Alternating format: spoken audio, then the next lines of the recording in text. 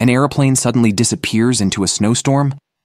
The Stardust crash pertains to the 1947 incident involving the British South American Airways Avro Lancastrian aircraft named Stardust. On August 2, 1947, while traveling from Buenos Aires to Santiago, the flight vanished in a snowstorm. The wreckage stayed concealed for more than five decades until its discovery on Mount Tupungato in the Andes. Now, for some trivia. Would you be able to survive a tsunami if you're in an airplane?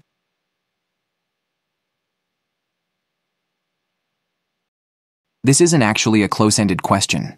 Your survival would depend on the altitude of the plane, if it's high enough to avoid the tsunami.